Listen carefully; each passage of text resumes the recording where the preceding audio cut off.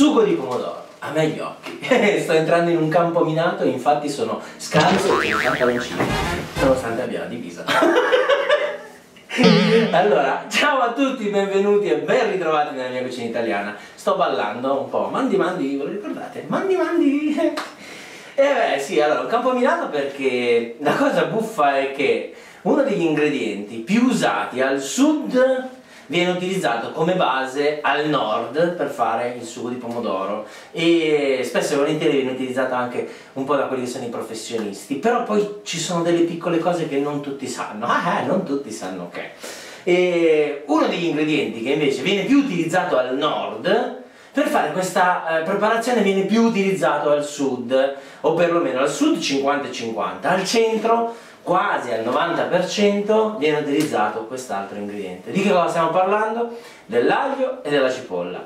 Al nord per fare il sugo di pomodoro si utilizza l'aglio come base, al sud si utilizza, al centro si utilizza la cipolla e invece al sud metà e metà e poi comunque sparso un po' in tutta quanta la nostra bella penisola c'è chi mette tutto, tutti e due, o c'è chi utilizza per esempio lo scalogno che è un po' l'uno e un po' l'altro perché ha la tonalità eh, del, eh, dell'aglio però ha il sapore della cipolla, la dolcezza della cipolla e quindi è un prodotto assolutamente buono anche per fare quello ma sono tutte giuste o sono tutte sbagliate? sono tutte giuste sono tutte giuste sapete perché?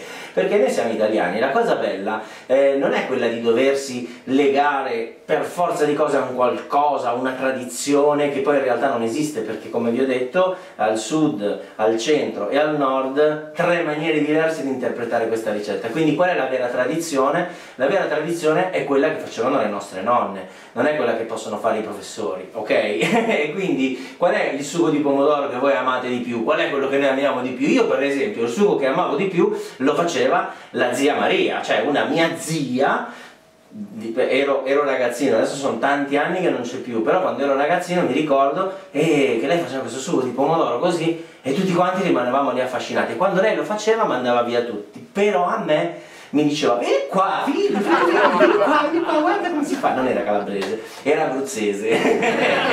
e faceva, dal mio punto di vista, ma non solo dal mio, da tutti quei punti di vista di tutte le persone che lo provavano, un sugo fantastico, meraviglioso. E metteva delle cose che ai più potrebbero fare così.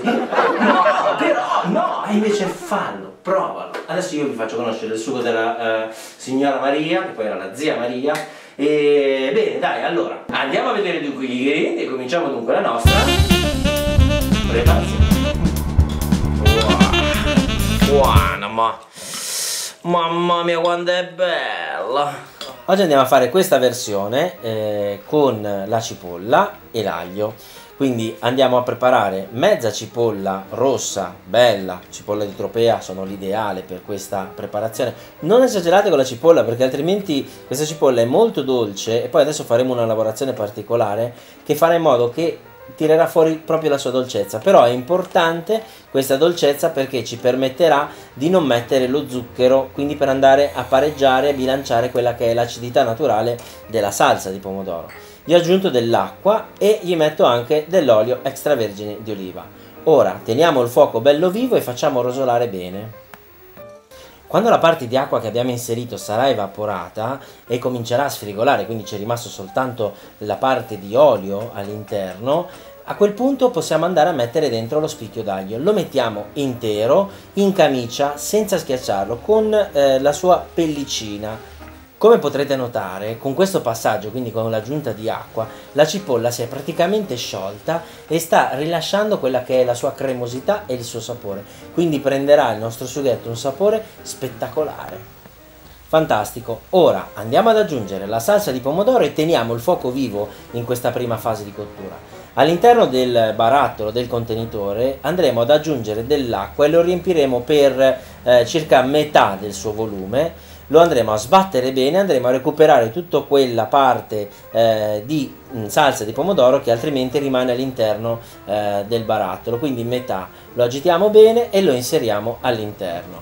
Quando riprenderà il bollore andremo a mettere il nostro sugo di pomodoro nel fuoco più basso e lì faremo la cottura per i 45 minuti.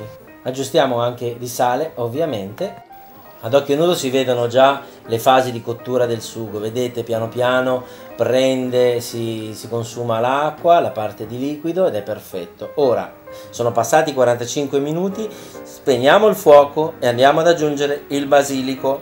A fuoco spento aggiungiamo il basilico, il basilico non deve cucinare, si inserisce a crudo. E così abbiamo praticamente fatto e finito il nostro sugo di pomodoro. Prima di essere utilizzato il nostro sugo ha bisogno di riposare 10 minuti a fuoco spento con il coperchio all'interno eh, della nostra pentola.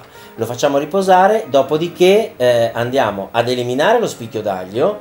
Una volta che abbiamo eliminato lo spicchio d'aglio lo assaggiamo, vediamo se va bene di sale, se va bene eh, di sapore, se va bene di tutto, insomma. Se ci rendiamo conto che è un po' acido, non facciamo nient'altro che aggiungere un cucchiaino di zucchero per andare a bilanciarlo. Andiamo dunque ad impiattare, mettiamo la nostra pasta, un po' di basilico, un filo d'olio extravergine di oliva e poi una bella spolverata di parmigiano e perché no, e perché no. Scoliamo bene, yamma ya. Wow, così come mi piace a me. Wow, buona ma... Mamma mia quanto è bella. Ah, ah sì. Mm. Mm. Aia, ai che profumo, che profumo. Una volta che è così, come detto, bella sugosa, bella sugosa. Track e via. E adesso, e adesso sì, si può mangiare. Vediamo. Sarà buona? Non sarà buona? E non lo so, e non lo so, però io la proverò, la proverò. Un po' di peperoncino però ci stava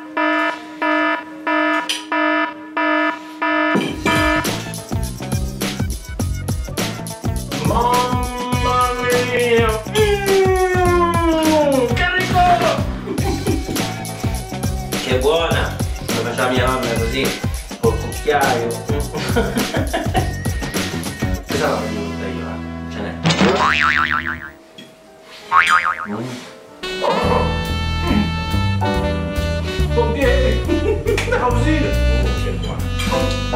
Ciao! Alla prossima video ricetta! Buon appetito! Buona! Ma sprano!